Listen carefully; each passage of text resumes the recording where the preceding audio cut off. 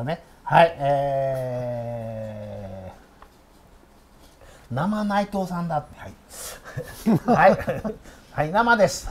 はい、それでは皆さん、こんにゃにゃちはでございます。ついにですね、えー、YouTube の方にですね、内藤さんが来ていただきました。ね、えー。もうね昔この2人が釣りをやると全くやめないというね、えー飛行機またしてまでも釣りをやるという2人が、えーついに並んでしまいました。ねえーということであの内藤さんが、あの2年数ヶ月ぶりに日本に、ねえー来日。ねえーちなみにあのさっき聞いてたんですけどもうアメリカじゃ全然ねあの、えーマスクもないし、えーあのよくあるビニールのこういうのあんじゃん。ね、でああいうのももうないんだって。早くも日本も。ねえあのこの暑いのにですね今日なんかむあのむむむれむれのこう超暑い状態になってますけどね。はい、えーいつものこっち見ましょうか。さらちゃんはい、えー、今 YouTube の方どうなってるか。あのちなみにこうなって映るんだね。はいはい。で YouTube の方にあの内藤さんのねあの YouTube のね、えリンクがあの説明欄に貼ってあるあリンクがねあの貼ってありますんで。説明欄に。説明欄のところあのポチッとしていただきますとあの内藤さんの YouTube 登録できますんでね、えーよろしくお願いいたします。えージムとヒロ、えーいつからの中ですか？1983年ぐらい。俺が初めてあのアメリカの本土に行った時にですね、えーいきなり「えーよはじめちゃん」って言って背中を叩かれたなんで俺知り合いいないんだけどみたいな。ね、えーと思ってたら、えー俺の背中に「はじめ村田」ってでっかく書いてあった はい。ねえーえーさっきも同じようなことを言ってますね。日本のバス釣りの業界はピネスが流行ってますがこのままいくとどうなりますか、えいやいやそれはね、ほんと僕は毎回思うけど、皆さん次第。ーうんだってこれじゃなきゃいけないっていうのはまずない、うん。これじゃなきゃ釣れないっていうのもまずない、うんうん僕だって自信を持って言うけど、ん。内藤さんここの釣り場はね本当にシビアだから、そんなでっかいルアー釣れませんよって言われたところでも、ちゃんと釣ってきたもん、うんうん。はじめちゃんもそうでしょ？そうです。はい。ね、だからあのーまあ小さくあの小さくする人もいれば、普通にそのまま行く人もいれば、えーこんなルアーで釣ってみたいっていう人もいれば。だから日本のバースフィッシングだからみんながそっちの方に行っちゃうんじゃなくていろいろさまざまなところがあっていいと思いますよ。ねえーそうじゃないとダメっていうのはないと思います。ね。はい。えー、大気象めちゃくちゃ楽しみです。はい。えー、内藤さんから見た島野の製品の印象を教えてください。いやもうね日本製のものって本当にこだわってよくできてると思う、うんその昔ごめん名前をね多分間違ってないと思うけど、島野に田辺さんって人がいた時、。はいはい。内藤さんって、うん記事に出してくれなくてもいいから使ってみてくださいよって言われて、はい僕はこう思いますってレポート書いたこともあった、うん。うん。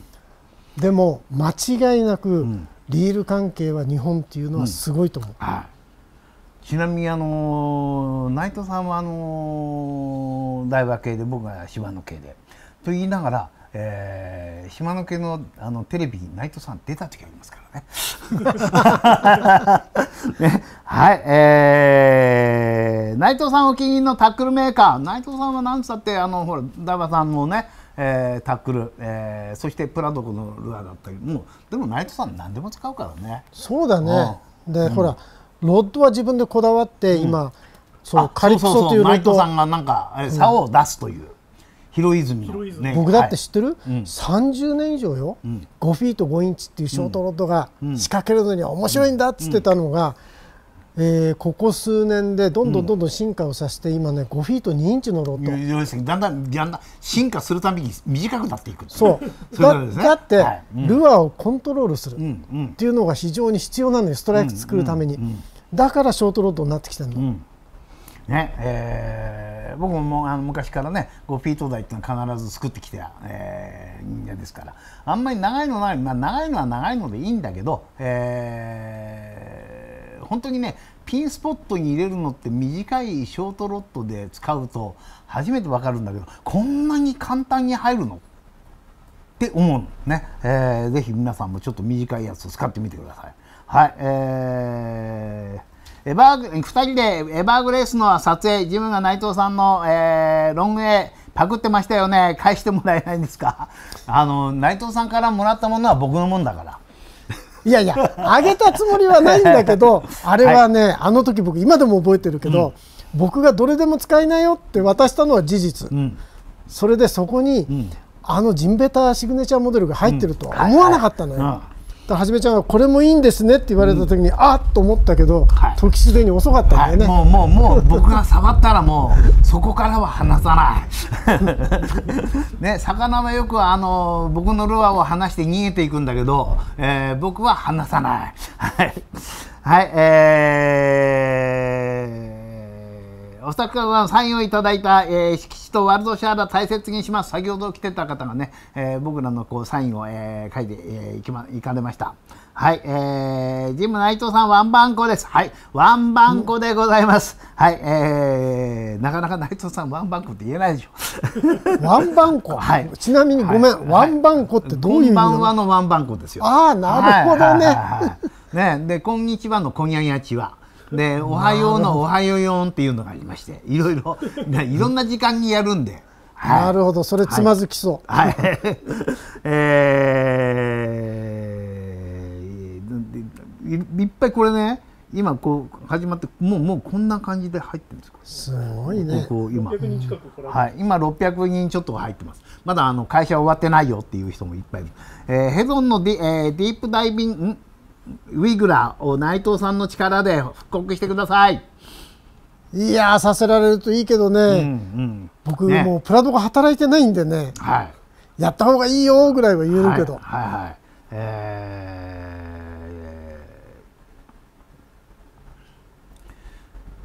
ー、内藤さんは村さんのルアー使うんですか、まあ、だってここのとこずっといなかったもん。ねえー、日本に来てなかったから。ね。えー、何年ぶりですか？いやはじめちゃんと会うのはね、うん、本当に親しくなのよ。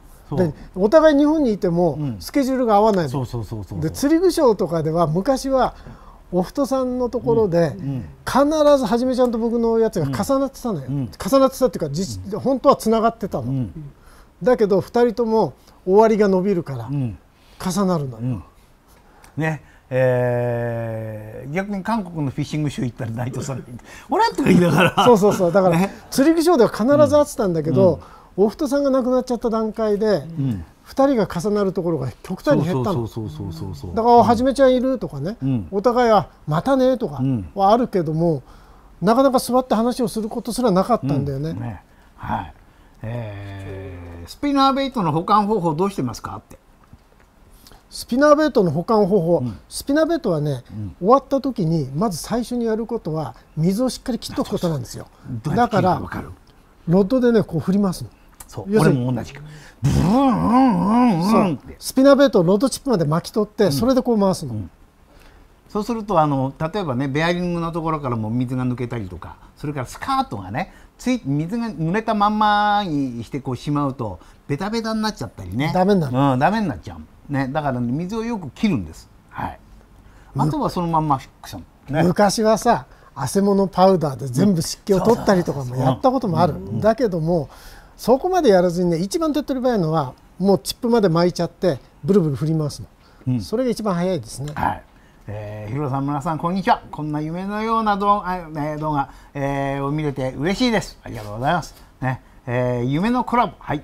えー、ルアーザスピリッツ、えー、全部持ってますよ。ありがとうございます。ね、あ、あのー、本当に僕のマンションの隣で作ってたという さっきもちょっと話してたんだけど俺が東京のマンション借りるようになって2軒目を借りた時に、えー、今もっと違うところに住んでるんだけど2軒目借りた時に隣のビルに内藤さんのこうあのビデオのねえー、ポスターが貼ってあってなんでこんなところに貼ったの？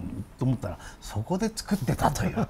うちの隣じゃん！みたいなね。はい。えー、えー、昨日鹿島に行ってきました。楽しかったです。あの長野県にあるあの管理釣り場で。もう、えー、僕はあの親父にこんなこういうふうに池作ってみたいな感じで始まってまあもともとあったところをちょっと改造したりなんかしたところね、もうでっかいあの60、70、80センチのニジマスがいる。おおすごいね。伊藤も80、90メーターメーター10。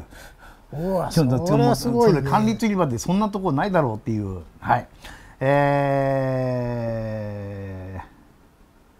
ー、えー、日野内藤塾早く開催してほしいです。バッチリ受け取りに行きます。はい。はいえー、タイの自己ベストは何センチですか？タイってマダイのタイそれ俺に聞いてんの？内藤さんに聞いてんの？はい。はじめちゃんじゃないの？それは。えー、こんにちは。30年近く前にいただいた内藤さんのサイン今でも大事にしています。うわ、はい、嬉しい。ありがとうございます、ね、はい、はい。シーバスのミノで50センチより浅いところを引けるルアーのおすすめをしシーバスのルアーで50センチより新編とかでいけんじゃない？それ別にミノじゃなくてもいいんじゃないのかな？50センチでしょ？トップでいいんじゃない？まあまあトップでいいんじゃないってことはないけど、うん、えー、ミノで島野でリップのあのちっちゃいんだったら、えー、いけると思いますよ。はいえー、で、えー、伝説の YouTube ライブですライブですね。はじめさん、ひろさん、かっこいい。ありがとうございます。はい、ありがとうございます。はい、ね、えーえー、内藤さん、時差違いで体辛くないですか？いやいや、もうね、うん、もうだって戻りましたね、ねずいぶん。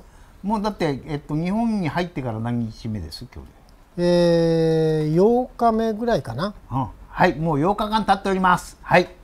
どっかに遊びに行ってたみたいです。えー、ついこの間は、えーと、と3日ぐらい前に新利根川でバスやってたというね、はい、すげえ綺麗なバス釣っておりましたよ。ね、えー、なんだっけ、ルアー。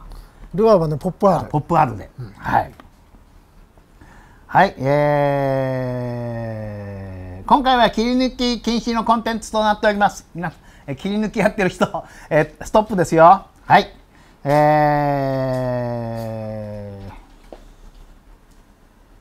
ー、今木でルアーを作ってるんですがどんな、えどんどんなアドバイスこうした方がいい？どんなど木で作ってるっつってどんなルアーを作ってるか ちゃんちゃんと言ってくんないと分かんないじゃないか。はい、え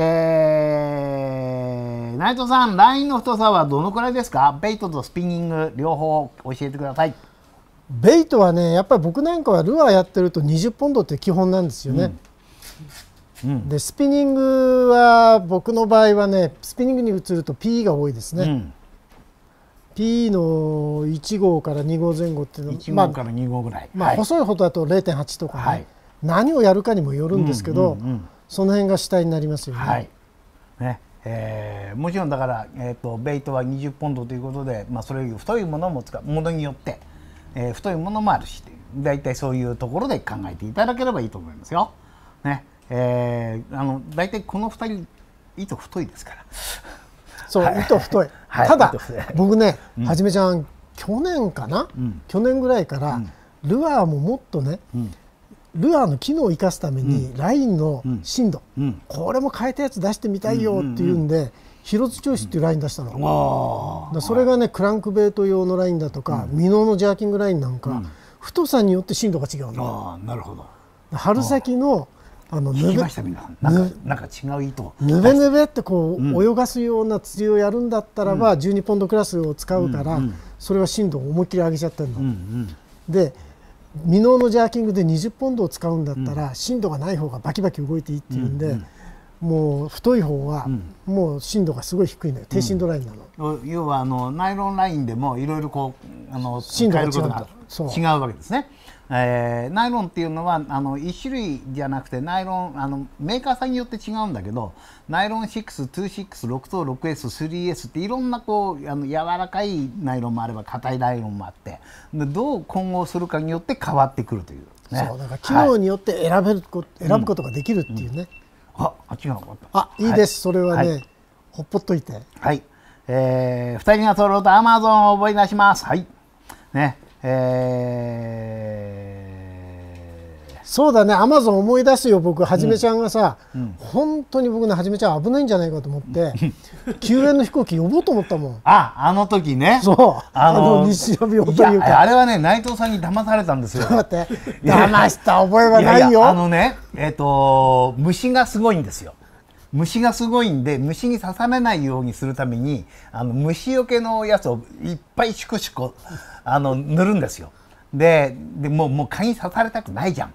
だからもうもうそこから十分って言ってそれ着たらあの暑さとその服で気持ち悪くなって要は いや最、ね、そうそう最強のはじめちゃん用に用意した蚊帳みたいな洋服があったの。うん、でそれはあのー、何殺虫剤じゃなくてね防虫剤に漬け込んであるわけよ。うん、でそれでかあの陰干ししてあるから、うん、これ着てれば蚊にかわあの噛まれなくて済むよっつって、うん、その洋服の下にいっぱいまで洋服着てたわけ。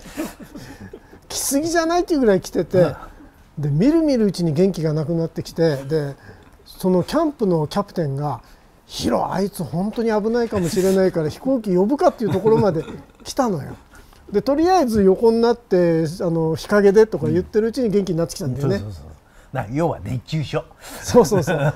あれはだけどアマゾンだけに危ないと思ったよね。あの俺2回あるのよ。アマゾンで。そのあの内藤さんと一緒に行った時もそうだったんだけどその後ね釣れない君と一緒に行った時に、えー、船であのあのアマゾンなんかのちっちゃいあのアルミのボートあるじゃないですか、はいはい、あれでね4時間。今からあ4時5時間ぐらい朝3時ぐらいに出てってでずっとそこまで行くのにその4時間とか5時間かかるよって言って走ってる最中は涼しいじゃないですか、うん、涼しいから水何も飲まなかったの。着いた時がカラッカラになっててうん気持ち悪いっていう、えー、涼しいと思ってたのに熱中症になったという。うんその後ずっと首までこうやって水の中に使って、えー、冷やしてたんだけどその周りでずっと餌釣りでピラニア釣られてたんだ。いやこれね日本もそうなんだけど、うん、熱中症だけは気をつけなきゃいけなくて、うん、水が欲しいと思った時はもう遅いのよ、だから定期的に喉が渇いてなくても一口二口はこう入れていかなきゃいけないっていうのが鉄則なんだけどね、これから日本も暑いんで、そこだけはやっぱやった方がいいと思う。はいね。えー、ほ切り抜き禁止令出ました。はいはい。えー、シルバースレッドの帽子が欲しいんですが非売品ということらしいので残念です、うん。ね。えー、シルバースレッドもいろんな帽子があってさ、うん、牧用の帽子っていうのがあってそれは非売品だった、うんうん、はいえー、内藤さんと、えー、村さん2人で釣りしてる姿が見たいです。内藤さんはさっきから早くはじめちゃんフロリダおいでよ。だから俺はあさってから石垣島行くから一緒に行こうよ。とずっと誘っていますが。えー、お互いだけどそうやって言ってたら、うん、いつかそれが合う日があるよね。そうそうそう。うん。ねえー、ヒロイズム持ってます。宝物です。はい。ありがとうございます、はいうんスモール48センチつ、えー、釣れた女です、えー、釣れた女子ですね、えー、内藤さんに質問です、えー、日本とアメリカのスモールマウスバスの違いを教えてください。違いというのは魚は変わらないけどね、うんうん、釣り方でいうと、うん、それはねやっぱりその場所場所によってかなりこう変わってくるのも事実、うんうんでアメリカの場合にはね、まあ、時期にもよるんだけど、うん、スモールは僕なんかはやっぱりトップが好きね、うんうん、トップであれが出てくる時っていうのはものすごい豪快、うん、なんで僕個人はやっぱりトップを使うのが好きですね。あのなんていうのかちょじゃなくブンこう持っていくような。そうそうそう。でスピードが速いのよ、うん、内藤さんのさっきあの動画をねいろいろ見てあの YouTube の方であれもう流れてるの？あれも流れてる YouTube の方であの見ることができるんですけどねあの迫力のあるねああいう釣りがいいね迫力ねえー、おーじゃなくてブワーっていうのがね、えー、いいと思いますよ。えー、どこ行きましょうね。内藤さんプロデュースのジョアキングロッドスパイラルガイドの理由を教えてください。スパイラルガイド、うん、ベイトロッドっていうのは、うんもうあの、そう、ねはい、ガイドが全部ロッドの上に乗ってるもんだから、うん、でかい魚がかかってこう曲がるときにガイド間でガイドの間でラインがブランクについちゃうんですね、うん、そうすると特に PE を使ってる時なんかに、魚がでかくなきゃいい、だけどでかい魚ってずっと引っ張られるとテンションかかったままこすりつけられると、もう PE の場合にはねフィラメント一つ一つが細いから切れ始めるんですよ。でそれを避けるためにスパイラルガイドっつってガイドをどんどんどんどん逃がしていくことによって、ブランクに絶対当たらないような形になったんですね。うん。あ皆さん今の分かりました、えー、P ラインがブランクスに触るとその一本一本。一本っていうのは例えば4本より8本よりと、まあ、中には12本よりなんてあります。でそれ1本ずつがすごく細い。ね。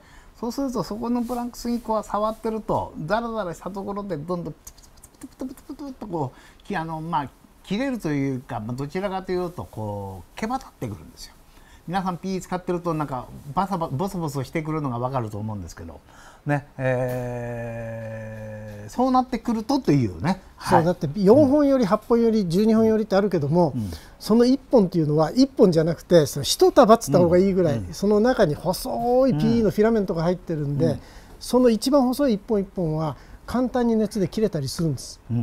だよく言うあの女性のストッキングの電線という現象と一緒でブチブチブチブチって切れ始めるんで、それが嫌なんで、熱を出す持たせないために逃がしていくんですね。皆さん聞きましたか？村田はじめの説明よりもすごく長長く細かくやってくれますよね。はい。はいえー、30年前に初めて買ったバスロットはヒロ,、えー、ヒロナイトスペシャル、えー、ヒロナイト、えー、ペンガサスでした。ありがとうございます、はい、懐かしい、うん。えー、内藤さんってどんな人アメリカでどんな活動してるの？昔で言うとあのじあのバグリーっていうルアーがね、えー、バルサウッドなんかでこう作られたルアーなんですけどもそれの内藤さん近所にその会社があったのすぐ近所に。ね、でそこのそこで仕事をしておりました。でそのまあ、そのルアーを日本に売る、えー、日本だとかいろんなところにね、うん、えー、売る仕事途中からプラドっていう、まあ、あのアメリカ最大のルアーメーカーです、えー、ヘドンだとか、えー、いろんなメーカーこう、まあ、10社ぐらいもっとあるのかなあるねもっとありますね。ね、えー、さっき言ったシルバースレッドなんかも入るしヘドンだとか、えー、レーベルだとかいろんなメーカーがこう総合メーカーなんでそこの仕事をしてました。えー、それをあの日本のメーカーとかねいろんなところにあの韓国もそうですが、えー、売る仕事。今はですね YouTuber です。そうなの。2年前から YouTuber, はい、YouTuber ですあのねあのちょっと内藤さんの話をするとね僕らが若い頃、えー、アメリカにバスプロっていうものがあるなんていうのを教えてくれたのが内藤さんなんです。えー、まあ僕僕ら僕らもそうだし僕らよりもちょっともっと上の人たち年齢的にもっと上の人たちもそうなんですがアメリカにバスプロっていうのはやる。ローランド・マーチンと言われる神様がいるとかねジン・ビッターと言われるすごい人がいるとか、ね、ハロード・アレンがいるとかいろんなそういうバスプロがいてその人たちがどういう釣りをしてるかというのを教えてくれたのがここにいる内藤さん。どこで教えてくれたのっていうと昔アウトドアという雑誌があったんですね。で大きな雑誌です。でその雑誌にそこに記事を書いてた。アメリカには、B、あの BASS っていうアメリカ最大のこう団体があってそこにバスマスタークラシックっていうまあ今でもあるんですが、えー、ついこの間そこの司会をやったレイ・スコットって方が亡くなっちゃったんですがえー、彼がもう司会やってるともう本当にすばすごい人たちがもう、えー、そこに来る。ね、でその大会を日本人で唯一、まあえーまあ、審査員、えー、兼、えー、カメラマン兼いいろいろこうやってくれる、えー、つまり本物の本物のバスプロだからもうまだ日本なんかバスプロなんか誰もいない時代よ。えー、本物のトップトップ中のトップのプロの人と一緒に釣り、えー、乗っかってずっとその釣りを見てでその釣り方をこういうふうにやってるああいうふうにやってるっていうのを教えてくれる役をしていたのがナイトさん。あのねすっごくそれを正確に言うとよ、うん、あの今のでもううん、もうほぼ間違ってないんだけど、正確に言うと、バスマスタークラシックっていうところに呼ばれる報道陣っていうのは、全米トップ100名に入らないと呼ばれないのよ。それで日本で西山徹さんという方が1981年かにスタンレー・ミッチェルが優勝した時に日本からわざわざ取材に行ったの、でそれに感動して BSS が日本にもっと記事を出したいと、ところが西山さんという人がテレビ番組を始めるということもあって、なかなか行けないと。で僕が代わりに行きますって行き始めたの、そしたらばその 100, 100名、その時は100名に入ってなかったからまだ、行き始めた時は。そうするとその外から写真を撮ったりすることはできるけどあのバスボートに乗ることはできなかった、うん、ところが100名に選ばれるとトップ100名に選ばれると、選手と1日おきに必ず出て何をやってるかっていうのをつぶさに見ながらそれをあのなんていうの記事にして世に知らせるっていう役目と、それと同時にバスプロたちが不正をしていないということをちゃんと見ていてくださいと。いう、そういうなんていうのチェックをする、あのなん仕事でもあったの。でそれを1983年の時かな、僕が日本人で初めてそのプレスアングラっていうところに認められて行き始めて。そこから18年間ずっとそれをやってた。の。うん。まあ、内藤さんはだからそういうのをやってて僕らはその、えー、さっきも言ったんだけど、えー、アウトドアという雑誌に毎月乗っかるわけじゃないねそのバスの記事がね。乗っかってない時は買わない 内藤さんが出てると「おお出てる出てる」って買うのちなみに言っちゃなんだけど俺と同じぐらいの年齢の、えー、人間いっぱいいるよね。えーカバビッピーだとかそれからあの田辺のノリピーだとかあの辺もみんなそうだからみんな同じことをやってそれで僕らはすげえバスプロっているんだみたいなのを見て育った人間。ね、でそれこそ僕らが83年4年にえー、アメリカ本土に最初に行った時に内藤さんと一緒にマクドナルドに行ったのが最初。しかもあのお腹すいたな内藤さんって言ったらじゃあじゃあちょっとあのハンバーガー買いに行こうよって言ってホテルから1時間も走った1 時間も走ってる。1時間も腹すいたまんまで。ね。でそこからの付き合いでございます。ね、えー、であとはあの村田はじめ BASS それのライフタイムメンバーというのが永久会員ね、えー、永久会員に最初にこう入れてくれたのが、えー、金も払ったけど、えー、内藤さんですね、えー、そういう時からの、えー、中でございます。内藤さんどんな人っていうとそんな人。はい。えー、ヒロさん一番好きなルアー知りたいです。うわそれね難しすぎるっていうのは、ね、好きなのはいっぱいあるもん。で毎回違うよね、う。ん、さっきまでこっちだったけど今日はこっちかなみたいなだってその日の天気によっても違っちゃうし、ねうん、難しいね、うん、でもねあえて言うならばトップが好き、うんトップが、じゃあトップの中で、えー、ポッパーかペンシルどっち？うわ。選べないとしたら。天気によるけど。あ確実に釣ってっていうとポッパーがね。あポッパーね、うん、使用範囲が広いんでね、うんうん、俺もこの間あの何でしたっけ、えー、黒鯛をポッパーでやってるはい、はい、えー、あヒロイズムの人だって書いてあります。はい。ヒロイズムです。はい、はい。はい、はい、えーえー、内藤さんはじめまして。内藤さんのスピニングのブレーキ設定の方法と、えー、目安の動画さん、えー、大変参考になりましたあとシャツどこのやつですか？シャツ？普通のです。いや ごめんなさい。シャツ今覚えがないんだけど。何着てたかなっていうのが、はい。はい、えーえー、内藤さん、村田さん、こんばんは。お二人、お互いに相手のすごいところ、まあ、さっきからずっと言ってるじゃん。あのー、言っちゃなんだけど、えー、釣りのことで僕より詳しく話せるのは唯一内藤さんだと思っております。はい。ね。え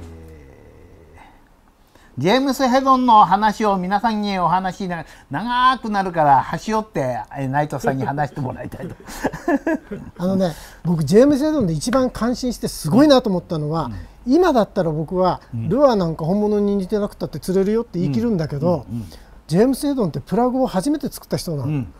で初めてプラグを作った人が初めて世の中に売りに出すプラグが本物に似てたっていいことないよって言い切った、あれがすごいと思った。ね。えー、日本はどうしてもこう本物に似せよう似せようっていうのがかなり強くありますよね。うん、ミノだったらもう本当に細かいディティールやってでやるんですけど僕ももうどっちかっていうといいじゃん真っ黄色のルアーでっていうそういう世界だったりとか、ね、はじめはじめちゃんはね、うん、あのバスプロの中で言うと、うん、ジミー・ヒューストンとか、うん、あれに似た性格なの。あの人たちに似た性格なの、で何が言いたいかっていうとプラトコでね、ジミー・ヒューストンに好きなように色を塗っていいよ本物にしたければ本物そっくりになるまで妥協しないで色を塗り替えてってって言ったの。で上がってきたそのジミー・ヒューストンのそのリアル系ベートっていうカラーを見た時にブルーギルカラーだったんだけど、うん、ピカソが塗ったみたいなブルーギルなわけよ。うん、えこれ？って言ったらば、うん、本物そっくりに塗っちゃったらばやっぱり目立たなすぎてダメなんだと。うん、ちょっと調子が悪いブルーギルは、うん、他のブルーギルと色が違ったり艶がなかったりするだろう、それが自然界の中では一番狙われやすいブルーギルになるんだと、だから俺が作りたいブルーギルは本物そっくりじゃダメなんだって言ったわけ、うん、だそれは考え方でねやっぱそう思うの、うん、はじめちゃん見てるとやっぱそうなの、うん、そこにルアーの動かしだとかそういうものが噛み合わさってストライクは漠然と待つもんじゃなくて作るもんなのよ、でそれがキャスティングで正確に入れるところから始まって一連の流れの中でストライクという最終なところに結びつくはずで、それが単にルアーだけ本物そっくりだよっていうだけだと、ゲームが成立しないと僕なんかは思ってるんですね。うん。例えばあのいろんな魚の中でねでアルビノって言われるあの色素欠乏症と言われる魚がいる、まあ、黄色かったり白かったりなんかするんだけどでそういう魚って長生きできないよってなんでっていうと食べられちゃうのよ目立っちゃうから。目立っちゃうから食べられちゃうだからなかなかそう大きく育てないですよみたいな。えー、管理釣り場なんかの場合はねあの黄色いニジマスができると黄色い同士だだけで買うのよ。でそれでそれでこう育てていく。ね、でだからよくそういうところにはいるけど自然界だとなかなかっていうのはね、えー、例えば、えー、イワシの群れがあってえー、元気にバーッと泳いでる同じ庭師と同じ動きしてますよっていうやつはなかなか食べられないところがどっかでポンって傷ついたやつってヘロヘロヘロヘロヘロってこう動いてたりなんかするそうするとそこ「おいたじゃん!」ってバフって食われるっていうね、えー、そういうのにも似てきますよね。はいえー、どこ行きますかね。えーヒロさんとジムのタックル交換してください。やだ。そう、お互い嫌だっていうよね。やっぱ僕も。あのね、内藤さんが使いやすいやつと、俺の使いやすいのがあるのよ。ね、だから内藤さんは内藤さんずっと長年その使いやすいタックルまた使いやすいタックルを作ってきた。僕もそう。ね。だから内藤さんは糸もやるし竿もやるしね。でリールなんかも大和さんにこう言ったりなんか。する僕も同じなの。で竿もやるし糸もやるしルアーもやるし、まあ、何でもやるしね。えー、っていう感じです。ね。うちの旦那さんは広内藤スペシャルのロットを持ってます、はい、ありがとうございます、はい、はい、えー、昨日のボクシングあのボクシングと同じつそうそうそうそうあのそそのぐらいになってますよ。はい、えー、神回やってる。はい。えー、2人ともバス、えー、バスクイカのレジェンドですね。はい、えー、はい、はい、まあいいや。えー、アマゾン珍道中から内藤さんの大ファンです。あありがとうございます。はい、はい、えー、内藤さんかっこよくなってる。前はかっこよくなかった。はいえー、オークチョビスピナーベイトの思い出ありますか？これね。だオークチョビスピナーベイトのあのでっかいブレードね。8ブレード8番ブレード。これあの内藤さんのあの本当に YouTube 見てもらうと動画でとてつもない動画が流れてますよ。えー、さっきうちの王さんもあの内藤さんからその動画をもらってねで「うおー!」ってやってきました。ねえー、まあエイトブレードあの一回あのうちの方でも入あの入ったんですが瞬間でなくなりました。今内藤さん1756に入っています。はい、はい、えー、大変です内藤さんの YouTube 登録者数が一気に増えてしまいます。はい。えー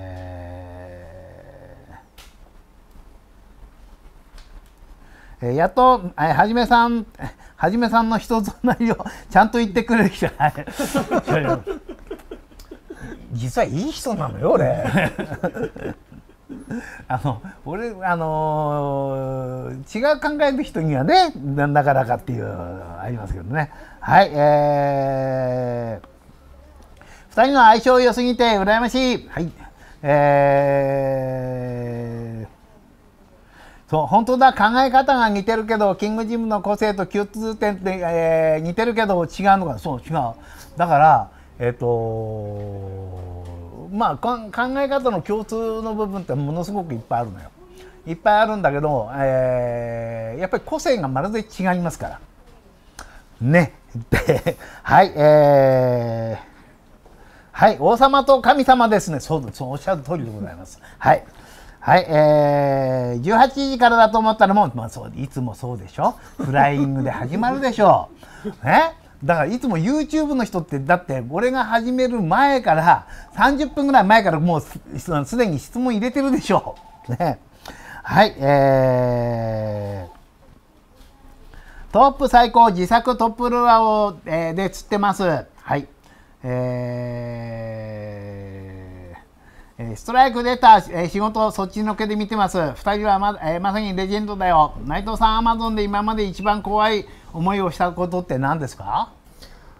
怖い思いはね、うん、実は動物でもなければ、うん、自然でもなくて、うん、人、人もやっぱりそのなんていうの残念ながら、悪い人っていうのもいるのよ。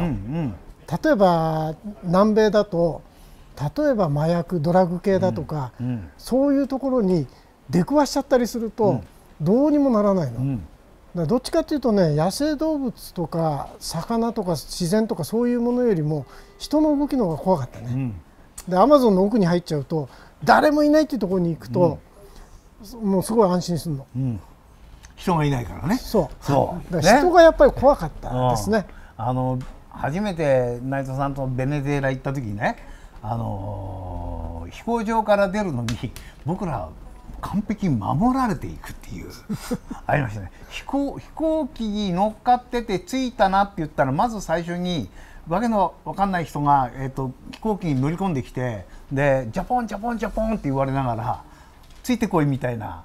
で飛行機から一緒に降りるんですよ。でパスポートパスポートってみんなその人がパスポート集める。日本人の。集めたらどうするのかっていうと、あのー、パスポートでこう入国のハンコを押すやつをその人がもらってポコポコポコポコって「はい」って言って「え入国審査これで終わり?」みたいな。いやいやいやはじめちゃんあれは特別。はじめちゃんたちの VIP トリートメントだったんだよ、うん、あれは僕のあのアメリカ人のそのトラベルエージェンシーの人がかなりすごいコネクションを持ってたのね、だから税関取らないで裏ドアからいつの間にか空港の外に出てたりとかねしてたの、うん、今じゃありえないと思うけどね。ね。いやだってあの時僕飛行機あの離陸から着 着陸までずっとパイロットのところにいましたよ、うん、今だと本当にありえないんだけど当時は「ヒロお前着陸見たことある?」とか言うから「ない」とか言ったら、うん、じゃあ来いよ」とか言ってコックピット乗っけてもらって着陸まで見てたりとかね。はじめちゃんもそうだ乗ったね。そうそう乗った乗った。だって離陸して離陸してあのどっかに一回寄ったじゃないですか。えーと、そのまま直接ベネデータじゃなくてどっかの島に寄ったんだと思うんですよ。うん、経由した、うん、でその時にウィ登飛んで降りる時までずっと俺にいましたから。そう、うん、コックピット行ってくるって言ったまま帰ってこないです。ねえー、だから今だから、ね、今でだからこそ話すけど成田空港でも俺はよくそれやった時あります。どこの飛行機会社とは言えま言いませんが、えー、ジャンボです。はい、はい、えー、えー、と西山さんとの思い出話聞きたいです。うわダメだよそれ時間足んないもん。ああ確かにね。でもね、はい、あの人は、うん、本当に魚が好きな人だった。うん僕あの人が亡くなった後に、うん、あの出された「魚たちありがとう」っていう本ね、うん、あれ見て本当ね涙するぐらいやっぱりねすごい人だったと思う。それ以上話すとねめちゃくちゃ長くなるから話しませんけど。いつもあの僕僕がよく言うのが内藤さんがねあのじゃあの西山さんが内藤さんに本を、えー、頼んでその調べ物があって、うん、で調べ物をあの「与野君これを探して送ってよ」って言うと僕のとこに先に来る。で僕のとこ先にプーって全部見てでそれですぐにあのちゃんと早く早く送ってねって言って俺から西山さんに送る、えー、っていうのがあってねえー、ヒロ君またまたはじめちゃんのところにうさぎを送ったねみたいなねえー、いうのがねはい。えー平地利根川で生釣りをしてな、えー、30分で5匹釣れてます。ね、今、あのー、板子釣りセンターではナマズの釣り大会、ね、7月31日まで、えー、写真で判定するという。えー、大きさですか？いや大きいことには越したことない。いかに大きく見せるかという写真です。いいですか？だから小さくてもでこういう写真とかねかっこいい写真とかね、あの砂だらけの写真とかダメよ。ね、だからそれあの女性の分もあるしお子ちゃまの分もあるし、ねえー、大物賞もあるし重たいで賞もあるしいろんな賞がありますんでね、はい、それ板子釣りのセンターで、えー、餌とか買うとそこにバックのリーダーがあってそれでこうできる。おおすごいね、うん、ねえー、はいえっ、ー、と。えー、シリじゃなくて「ヘイヒロヘイジム」が欲しい。はい。ね、質問俺答えなくちゃいけない。内藤さんと俺が答えなくちゃいけない。はい。えー、今言ったのがこれこれ。あのアメアメキャンの餌なんですよ。おいいねこれここにこうこうこうあるの。これあこれ見せられないの。こうちょっとこうこういうのが。これを読み込むと、うん、読み込むとそこにあの応募できる。ああなるほどね、うん。はい、すごくいい考えだね、はい、それね。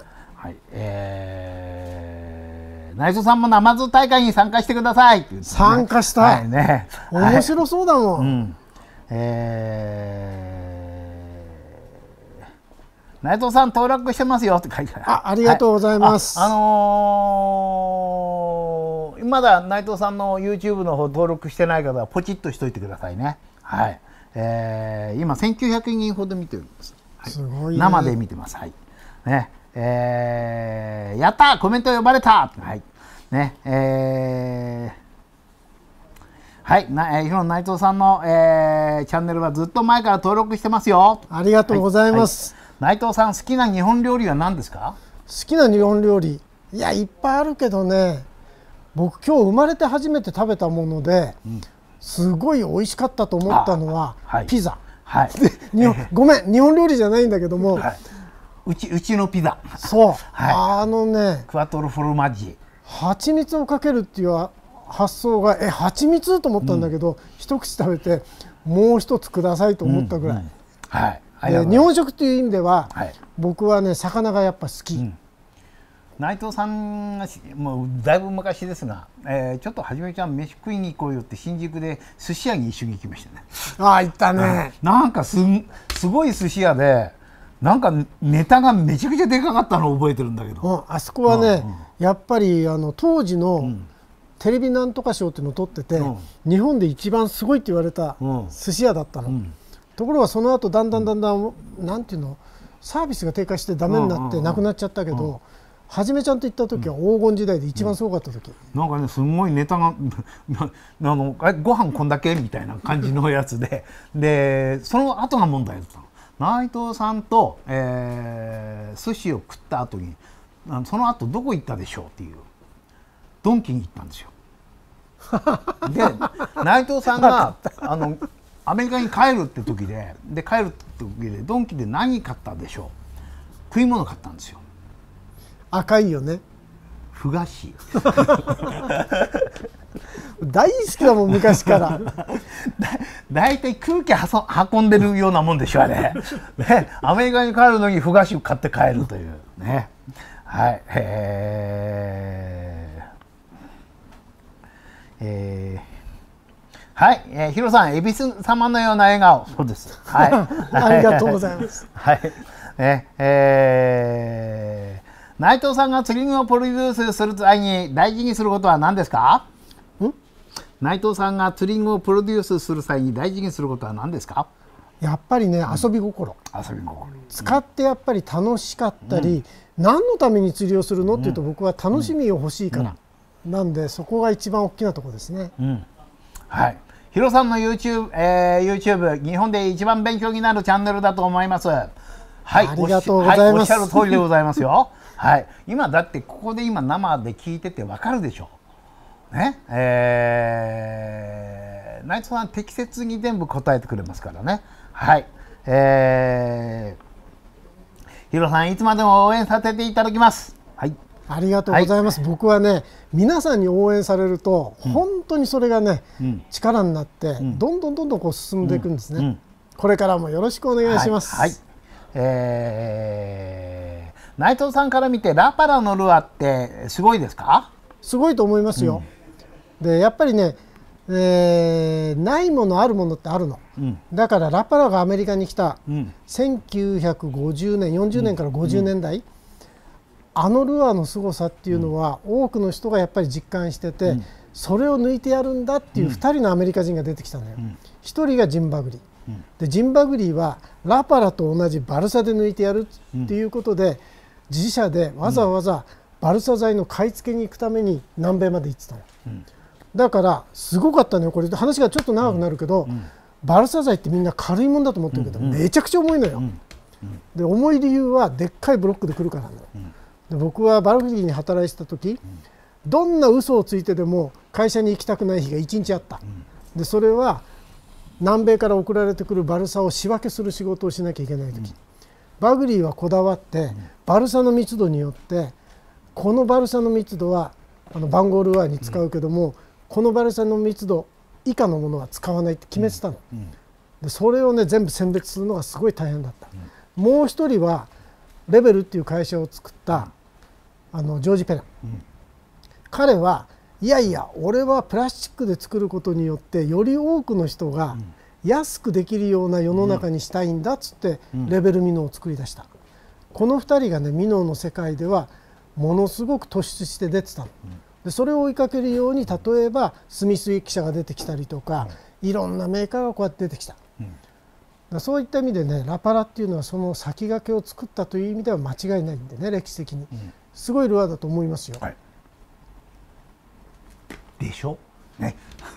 ねはい、え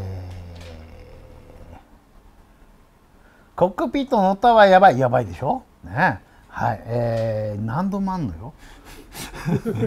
1回、2回じゃないの。はい。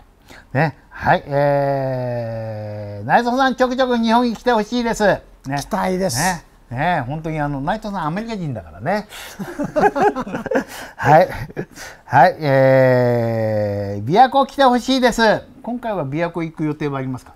ないんです。あないですか、うん、えー、九州に行く予定があるそうです。そう。さっき小耳に挟み四国に行く予定があるそうです。小耳に挟みました。はい。明日大阪明後日四国、はいうん、で今週末は九州。はい。一昨日まで大阪にいました俺。はい。はい、えー、内藤さんの口を使わないのと素晴らしいはじめさんのキングノットも素晴らしい俺のキングノットってもともとは内藤さんから教わったフロリダノットなんですよ。えもともとのやつはフロリダフロリダ行った時にリーダーこうやって結ぶんではじめちゃんって言って言われてやったやつが時々すっぽ抜けんの俺がやるとね。で、えー、それをすっぽ抜けないようにしたのが俺のキングノットだからもともとは、えー、内藤さんから教わったやつですあれねえー、それを改良したんです、ねえー、だから両方とも、えー、内藤さんのやつです。はい。ねえ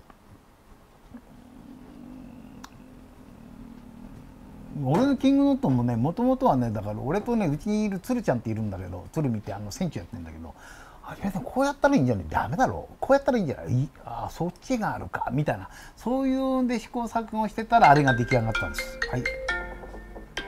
生放送です。生放送です。はい、えー、内藤さんが好きなウォーターランドの製品、うちの製品、内藤さんわかるかな？いや、製品で言うとね、いや、ウォーターソニックはわかるよ。うん、はい。ぐらいだと思うよ。あとね、あの、あの、ほら、当時、まあ、型破りで珍しいということも含めてね、うんうん、アルミのペンシルあったじゃん。うん、はいはいはいはい、うん、あれなんかは、うん、おおよく動くと思ったよ、うん、ねアルミのやつ残念ながらねできなくなっちゃう、ね、みんなあの待ってくれてるんですが無理。はい。えー、やっぱり皆さん王様ですね。いえいえ。ね。え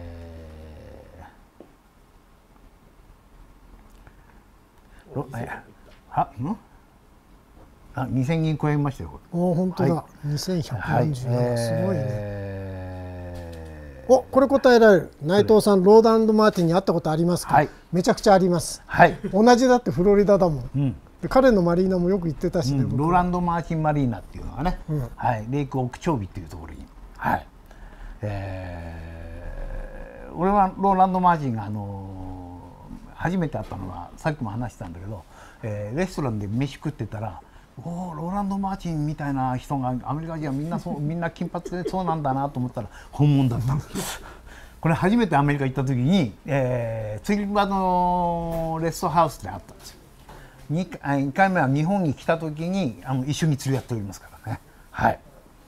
えー、内藤さんは今宵は何を召し上がる？ここから先は分からない えー、向井千秋さんは釣りしますか？大好きだよ。昔はね、うん、まあ今もそうなんだけど冬になるとフロリダをこう、寄ることがあるの、うん、そうするとね必ずバスで行ったね。あの向井千秋さんはスペースシャトルに初めて乗った女性の宇宙飛行士です。ねはい、えー、お姉さんです、えー、内藤さんは、えー、今弟もいます。妹さんもいますちなみに、えーと、俺は弟の結婚式の時に、えー、呼ばれて行きましてその時には、えー、その時の話をしますとその時には、えー、お姉さんが向井千秋さんですから、えー、弟の結婚式そっちのけでみんなは向井さんと一緒に写真撮りたくて 金屏風の前でみんな向井さんと写真撮ってました。その時の、えー、花嫁とは写真撮ってなかった。で、えー、その時にですね、あのー、みんなから祝福のいろんなこう来ますね。そしたらあの内藤さんからも来て来てたんだけど、えー、結婚おめでとうみたいなのがあってで俺はあのエバーグレイスで次してるからっていうの 弟の結婚式に来なかったの。そうだよね。今考えるとなんでなんだろうね、うん、でもエバーグレーで釣りをしてたのも事実、うん、それも事実なんだけど、はい、でその後あのお姉さんが俺のところに来てあのー、俺こうやって座ってたんですけど座ってたらあのー、向井さんが来て俺の肩をバーンって叩いて「村、田、君うちのヒロを頼むよ」って言ってビールを継がれました。はい、えー、そんなことがございました。はいはじめちゃんはうちの母親もよく知ってるよね。あの、うん、お母さんはうちのお袋のところによく来てたの。だから内藤さんのところにはフロリフロリダに行くっていうんでそう行く前の前あの行く日に必ずうちに寄ってくれたんですよお母さん。で寄ってくれてうちの袋と売店でずっと喋ってるの。ね、でじゃあそろそろ行かなかみたいな感じで、えー、お母さんはそのままあのフロリダに行く。お母さんフロリダに行くのにって英語大丈夫なの？なんとかなる。なんとかなるって言ってで行っちゃってました。今ね今年97なんだけど、うん、今でもバリバリでフロリダ来るとバス釣り行きたがるんだよ、うん。うん。あのー、日本人でね一番でっかい、あのー、スヌークを釣ってるのは僕だったんですよ。いや何言ってんだよ。はじめちゃん僕だよって言って「いや内藤さんはアメリカ人でしょ」日本人で一番でかいのは俺だよって言ったらね。お母さんが俺よりでっかいの知った。何言ってんだよ。日本人で一番でかいのうちの母親だよって言われね。はい、えー、そんなこともございました。はい。えー、えー、とはじめさん内藤さんに英語を教えてもらったらペラペラになれるのかも、ね、あの覚えようとしない あの喋れる人がいるとねなんなんて言ったの？って聞いちゃう人なんだよ俺僕に教わるよりもね、うん、僕の息子がいい、うんうん、僕の息子の英語聞いてると、うん、羨ましいもん、うん、ネイティブの発音と思ってね、うんうん。次は教えてやったんだけどね はいえー、どこ行きましょうね。えーえー、ヒロ内藤さんの YouTube 見て、えー、スロープノーズって、えー、ルアー買いました。これせ、えー、これ世界最初のルアーって本当ですか？そうジェームス・ヘドンが最初に出したルアーね、うんうん、で彼が出したやつは僕があの作り直したやつよりももっと大きい、うん、大きいんだけど、うんそのままだと僕は大きすぎるとは思わないけど多くの人にとっては大きすぎて使いづらいかなと思ってちょっとサイズを下げたやつを出したんですね。うんうんえー、西山さんが亡くなられたのはだいぶ大人になってから知ったのでショックだった。ね、西山さんはあのザ・フィッシングのね、えー、メインあのメインキャスターであの喋りもうまいしね、えー、それとあのーあの人本当はすげえうまいのにあのそれをこう隠すような。ねえー、だからみんなのこうレベルにこうこう合わせよう合わせようっていうのがその当時の台話の番組でね、えー、見てるとそういうのがすごくあったっていう。ね、えー、マジで2人でこう喋った時にはあこの人すごい人だわっていう。ね、えー、そういう感じの人でした。あの人はね、うん、底抜けに魚釣りが好きだった、うん。うん、ねえー、ちょうどねフィッシング大阪のフィッシングショーの時に亡くなられちゃった。ねえー、っていうのはもう僕らもあの島のブースにいて、えー、その話が入ってきてちょうどフライフィッシングであのー、里見さんって島に、うん、ね「はじめちゃんちょっと俺ダメだもういられない」って言ってほんでフィッシングショーあの抜けて帰るって言って帰ったんですよ。うんえーどうしたらバス釣りうまくなりますか、まあ、いろんなこと知ることだと思いますよ。あのー、なんか一つのものに固着しないでいろんなものを知っていくこと僕はあのよく今のこの世の中昔だったらねバスって霞ヶ浦で20本30本で平気で釣れたのよ。だから飛行機乗り遅れそうになってもずっとやめなかった大がこういるんだけど今そうじゃないじゃん。ね、でじゃあ、あの1日やって1匹しか釣れない釣りをやっててそれ10回やっても10匹でしょ？でじゃあうまくなるかっていうと俺はそうは思わなくて、えー、だったらシーバスでも何でも管理釣り場でも何でもいいからいろんな釣りをやる。そうすると引き出しがいろいろ出てくるんで。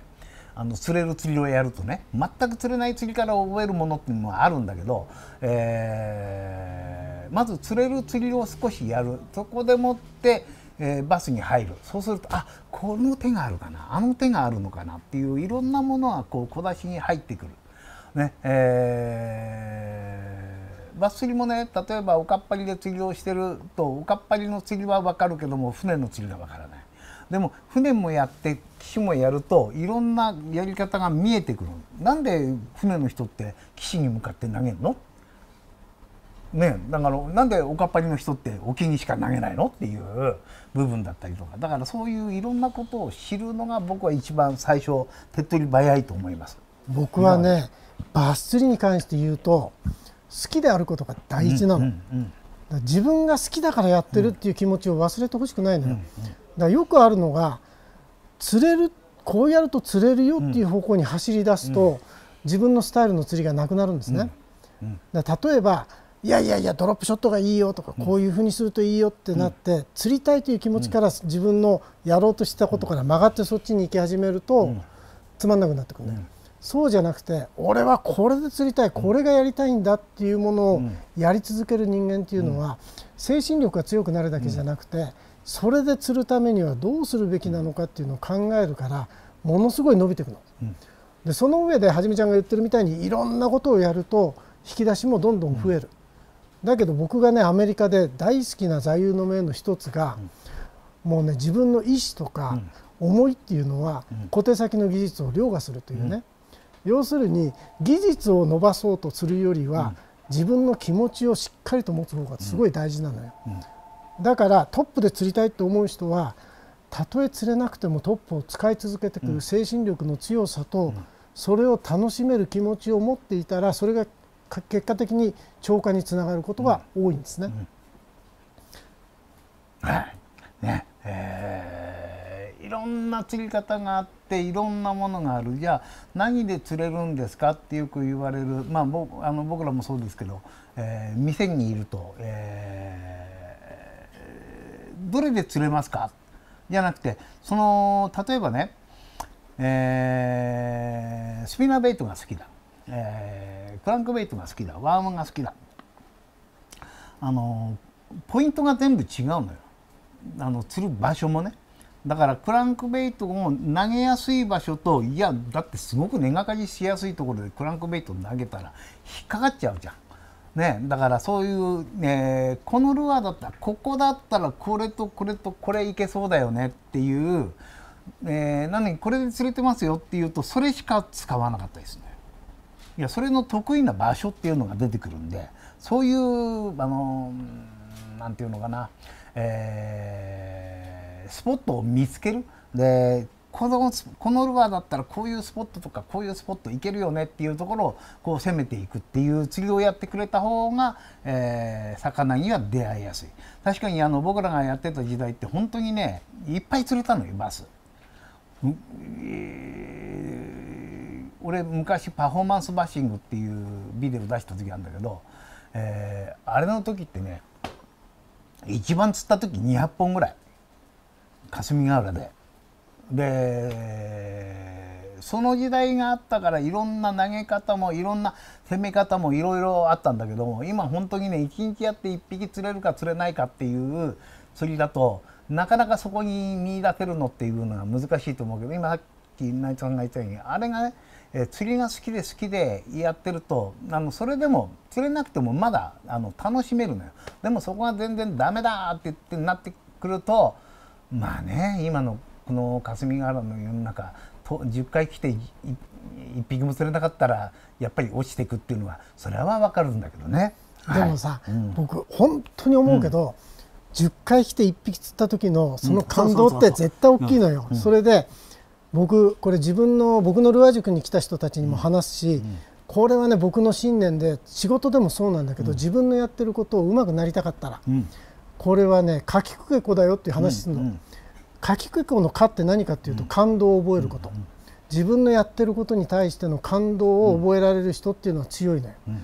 気これはね興味を持つこと、自分でやってるものを例えばスピナベにしたって杭のここ例えばはじめちゃんのお店の前の杭の3番目がいつも釣れるんだよっつってそこだけ投げてやめちゃわない、うん、いやいやあそこがいいんだったらこの杭もいいんじゃないの、うん、興味を持って調べる人、うん、かきくけこきくでしょ、くは工夫をする人、自分のやってることをコピーで誰かがやってることを真似るんじゃなくて工夫をする人なんだよ、け経験を大事にすることなの、人間の脳ってすごい複雑だから、成功例を覚えて蓄積していくのよ。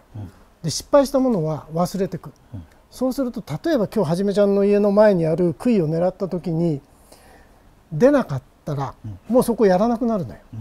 なんだけども今日出なかったのは条件がずれてたかもしれない、条件が違う時にそこをやったらめちゃくちゃ釣れたのかもしれない、だから経験っていうのは無駄にしないことなのよ。僕がこの人面白いと思ったのはあのエジソン、トーマス・エジソンって名前みんな知ってるでしょ、うん、トーマス・エジソンの有名な言葉の中に失敗がないんだよ、あの人は。でこれはどう見るかなのよ、失敗は山ほどあるのあの人。ところがそれを失敗として自分の中にしまってないのよ。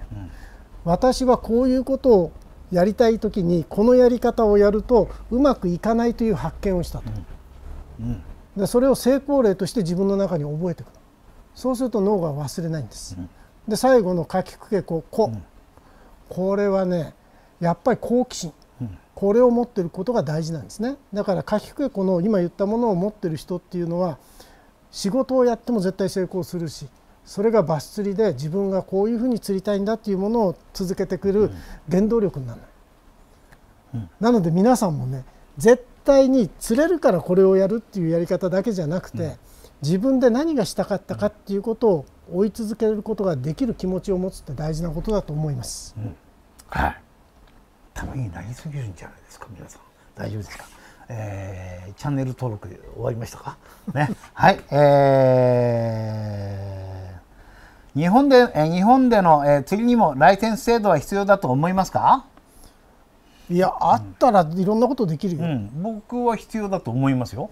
うん、あのものによってねいろいろ。だあのー、ライセンス自体も、うん、今結局ねいろんな国行って例えばアマゾンの中でもえっとねなんだっけなそこ、えー、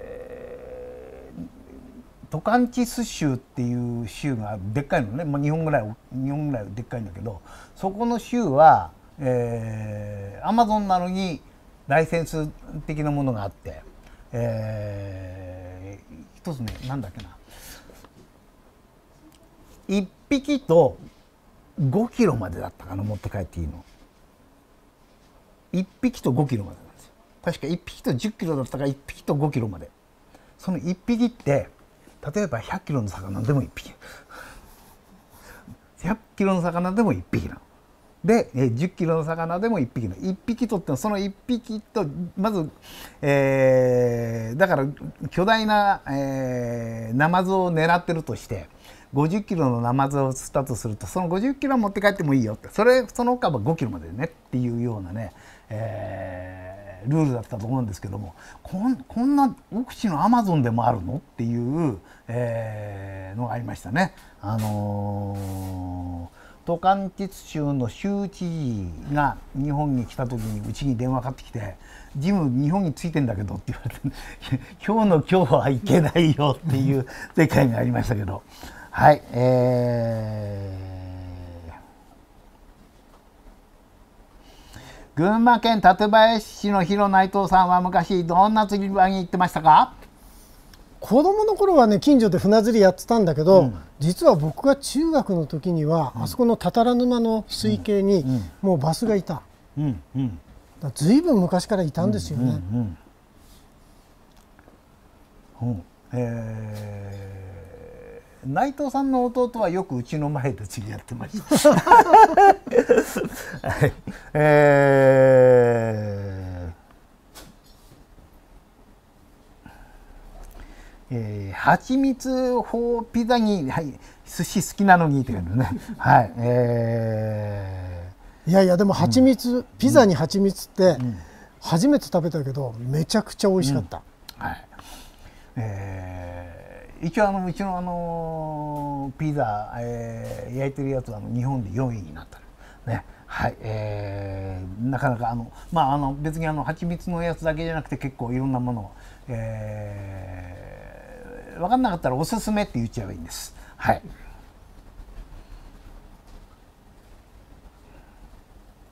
えっ、ー、と7月に板釣りに行きます。はい、待ってます。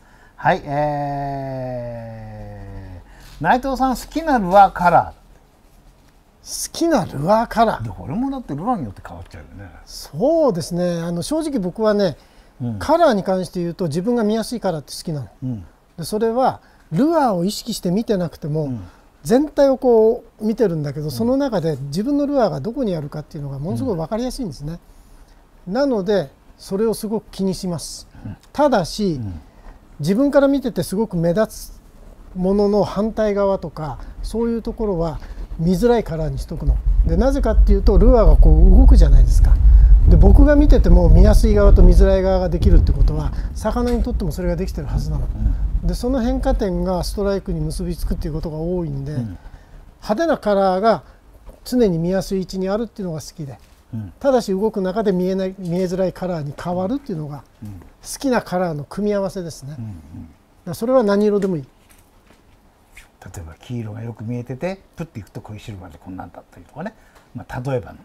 だってこれだって、はい、例えばよ、皆さんがこれを見てる時に例えば自分がバスになったとして考えてね、うん、太陽が向こうに沈んでいく時逆光で見てるわけでしょ、うん。眩しいな眩しいなとオレンジっぽいなっていう時にお腹が出るとこれが同化して見づらいの、うん、ところが黄色側が出ると見やすいの、うん、でそれが例えば巡航で足腹をバックに見てる時には足腹でこっちが出ると今度見づらいのよ、うん、さっきは見やすかったカラーが今度は見づらいの。で反対が出ると急に見えるのよ。で急に見えるからその時にドーンって飛び出す魚もいると、僕のカラーの基本構想っていうのは見やすいカラーと見づらいカラーの組み合わせをどう組み合わせるか。はい、学長ひえヒロさんにウォーターランドのルアーいっぱい渡してください。えー、内藤さんや村さんが手がけたロットは素晴らしいです。ありがとうございます。ね、はい、嬉しいです。ね、はい、えー、ブラサバルサ材の視野決定10 10ロードねえー、僕もあのラパラのフィンランドの、えー、ラパラに行った時に、えーと、バルサバルサ小屋うちの店ぐらいあったと思う。乾燥室があってね。はい。えー、ちょっとお待ちを。えーえー、ジムさん、ヒロさん、こんにちは、えー、王道のエンジェルスピナーベイトを購入し、あとはヒロさんのおすすめの、えー、ウィン、えー、ウォーイーグルのスピナーベイトを購入します。2人でスピナーベイトの話をしてほしいです。だからさっきから言ってる内藤さんの動画見て。ね。えー、内藤さん、群馬県来るんですか？今回はね、先週行きました。あ、先週。うん。はい。ね。えー、やっぱすげえな内藤さん。自分よりすげえかも。どんどん当たり前よ、ね、それは当たり前の話よ、えー。えー、九州のどこに行くんですか？九州はね博多に行きますね。博多、うん、はい、はい、えー、北山北山ダム、うん、北山ダムね、はいはい、北山ダム、えー、と内藤さんはマーさんの兄貴分的な存在。そうです。はい。うん、まあでもね、うん、正直はじめちゃんと僕って何なんだろうって思うと、うん、頼れる友達、うん、要するに友達って友達のために何かをするっていう時に別にお金がもらえるからやるとか、そういう問題じゃないんですよ、だから例えばはじめちゃんに内藤さんこれやってもらえない？って聞かれると、いいよって答えちゃうわけ、うん、もう何も考えずに、うん、でいいよって言っちゃってからところで何やればいいの、うん、ってあの聞いたりもするぐらい、とりあえずはじめちゃんが僕を必要としてるんだったらいいよって思うような、そんな感じ？だから家族とも違うけれどもこう頼れるとか、もうなんていうの？すごく安心できる？間柄というかね、うん、そんな感じです。もう昔からなんでよく分かってるんでね。はい、えー、内藤さん眼鏡忘れてるって言われてる。忘れてないんですよ。実は、年、うん、を取ったからかどうかは別として、うんうん、このぐらいの距離で生活してる時には眼鏡がない方が生活しやすいの、であの向こうの壁ぐらいまで行くと眼鏡がないと見づらい、だけどもそこの皆さんがいるあたりからこのこの手前ぐらいまで、ね、ちょうど僕がこうやってやってる僕もともと近視だから、近い方も見えるんでね、そうすると生活の中では眼鏡がない方が楽だなと思って最近眼鏡はね、ほとんどしてないんです。はい、えー、なんだかんだで。お結構な時間な時間ちょっと経っております。はい、現在2382名が見ております。はい、え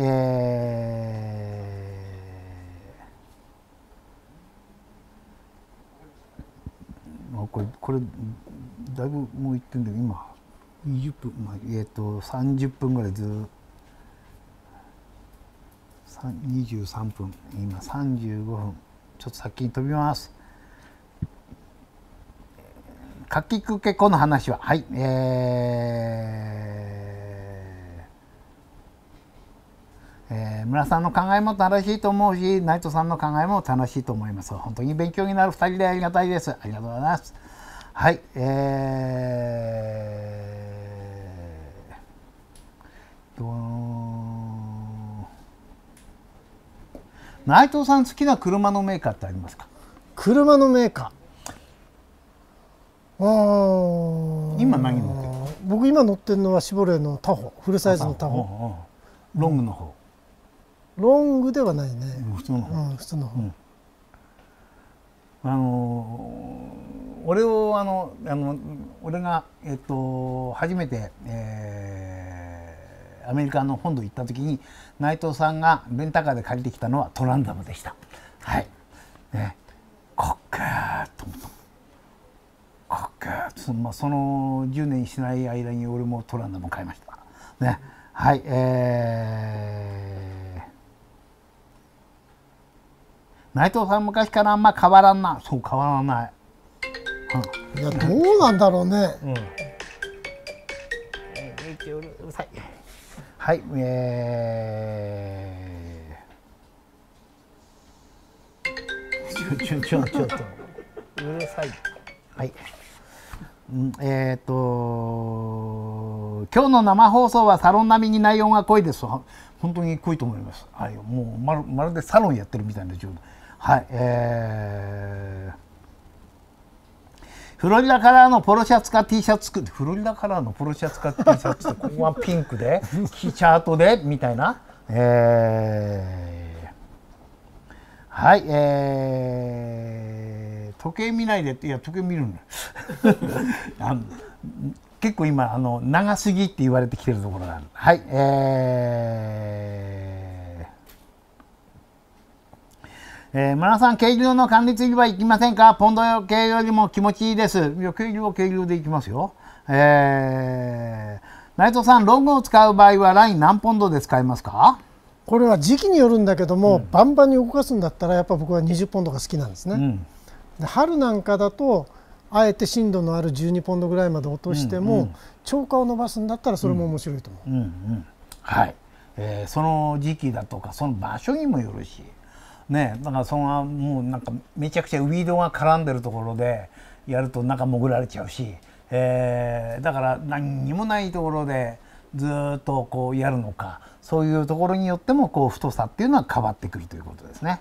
はい、えー、内藤さんと話せる機会なんてめったにない本当にめったにないですよ。ね、はい、えー、内藤さん好きなお酒ありますか？お酒飲まないです。ねいやいや、梅酒。梅酒は買ったけど封開けてない。ね一年経つね。一年経っても封開けてない。ね。はいえー、良い配信をグラシアス。はい、えー、先ほどもあのずっとねあのブラジルの方たちが来ておりました。はい、えー、ということでそろそろ2400いきましたよね。あすごいですね、はいえー、ということであのバナのところにあの内藤さんの YouTube の、えーポチッとできるようにしてありますんでね、はい。えー、今日はタラちゃんがですね、えー、名古屋から飛んできてきました。飛んでこなかったね。